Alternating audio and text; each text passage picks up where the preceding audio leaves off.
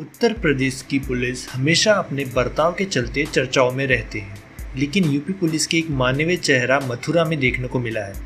Mathura railway junction पर एक महिला प्रसव पीड़ा से तड़प रही थी और उसका पति मदद के लिए लोगों से गुहार लगा रहा था। वहाँ मौजूद लोग बस तमाशा बीन बनकर खड़े थे, पर किसी ने भी उनकी मदद नहीं की। तभी S O Hathras city Sonu Kumar की नज़र महिला पर पड़ी। सोनू कुमार ने बिना वक्त गवाए महिला को उठाया और अस्पताल लेकर पहुँचे। जहाँ जहाँ महिला ने एक बच्चे को जन्म दिया है।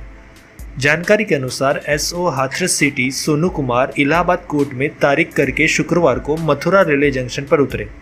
तभी उनकी नज़र एक महिला पर पड़ी, जो बुरी तरह दर्द से तड़प रही थी।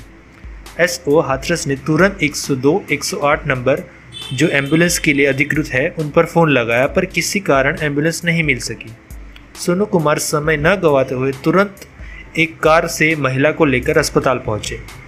वहाँ पहुँचने के बाद भी मुश्किलें कम नहीं हुई, क्योंकि अस्पताल में स्ट्रेचर उपलब्ध नहीं था। इसके बाद उन्होंने महिला को गोद में उठाकर जिला महिला चिकित्सालय पहुँचाया, जहाँ महिला ने बच्चे को जन्म दिया। S O Hathras city Sonu Kumar की ये दरिया दिली वाकई तारीफ़ काबिल है।